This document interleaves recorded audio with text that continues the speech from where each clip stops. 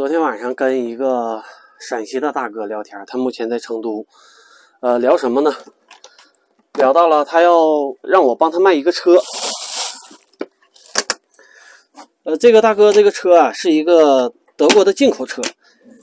一般人卖车的原因都是因为不喜欢这个车了，而这个大哥卖车的原因呢，是对这个车非常非常喜欢，不是不喜欢，是很喜欢。那么很喜欢的情况下，为什么要卖这个车呢？我跟这个大哥问了一下，这个大哥说出了他的苦衷啊。这个大哥说：“我要换一个自行。一般的人呢是从自行换拖挂，而这个大哥要从拖挂换自行。”然后我就问这个大哥：“我说，你换的原因是啥呀？”他跟我说：“他说。”我今年五十七，开这拖挂呀，时间长了，我一累挺了，我没办法跟你嫂子换着开，没办法在后面去歇一会儿，而且老在前车的空间里坐着，也感觉比较累。然后我就跟他说：“我说还有别的原因吗？”他说：“兄弟，还有，就是我有糖，我有糖尿病，年龄大了，这个糖尿病啊，还有其他的并发症，就导致我经常要上厕所。”拖挂房车这个上厕所这个事儿不方便，不像说自行式房车，想上厕所呢，还能直接就到后面就很方便的就去解决一下。我今天跟大家说这个的原因是啥呢？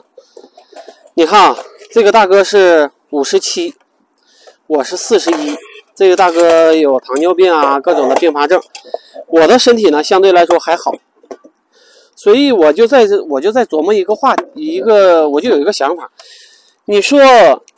房车旅行跟身体有没有关系？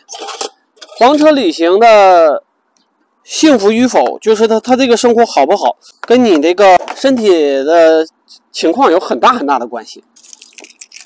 身体健身体健康的人呢，开车也没问题，也不会有疲劳感。然后到各地呢看风景，也是看山是山，看水看水是水，就会非常的有获得感。但是，一旦年龄大了，你的这个身体各种的病也来了，开车的驾驶感受也不好了，看景色的感受也不好了，呃，就是整个旅游的体验感就会变得不好。所以说，从这个角度，从这个角度说，你说是不是玩也要趁早啊？但是哪有那么多人有时间玩呢？所以这是一个非常矛盾的问题。那我在想，解决这个问题，如果咱不是。富二代不是非常有钱的情况下，解决这个问题只有一个办法，就是抓紧抽时间玩吧。我有一个朋友叫冯某某，呃，他就是平时是公司的高管，但是呢，每到周末、每到假期，都把这个年假凑吧凑吧，带着孩子出去玩。玩这个事儿，有的时候他确实是不等人的。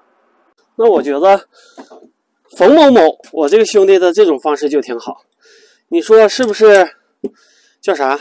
玩也玩了。工作也没落下，经常人说：“哎呀，等我退休，等我这个什么什么时候？你退休的时候，那你还你玩的心情和玩的这个体力获得感，能和现在是一样的吗？那肯定是不一样的，是吧？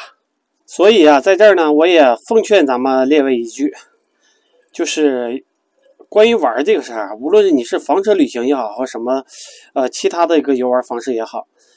抽点时间吧，我现在最大的感触就是玩不能等，这是我现在的最大最大的一个一个感触。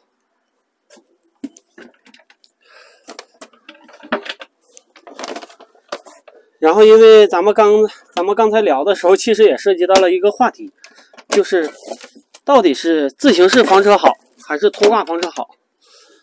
也经常有车友问我，说老万。到底是自行式房车好还是拖挂房车好？通过这个例子，你有没有发现一个问题？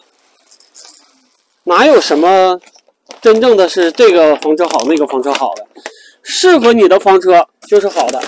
你像这个大哥，适合他的房车就是自行式房车。那他买的本来是进口拖挂房车，那这个进口拖挂房车品质没问题，但是不适合他。呃，人生在世，掐指算，总共三万六千天。这个赵本山老师说的好，有些事儿啊，你不做，有些时候可能就真来不及了。比如说孝敬父母，比如说身身体好的时候，带他们出去看看，自己也出去看看。身体好的时候自驾游，别到将来身体不行了，开一一步就累了，是吧？好嘞，今天就跟大家啰嗦这么多。我今天到美景美家，然后是去德发，然然后是去中正好沃，然后是去徐州的银燕，就是我的老万走进房车厂的第一季，现在已经开始了，啊，已经正式开始了。期待我每天晚上七点半的视频吧。然后没关注的给点个关注，已经关注的了，别忘了给老万评论评论，很重要，谢谢。关注老万，一起分享房车知识。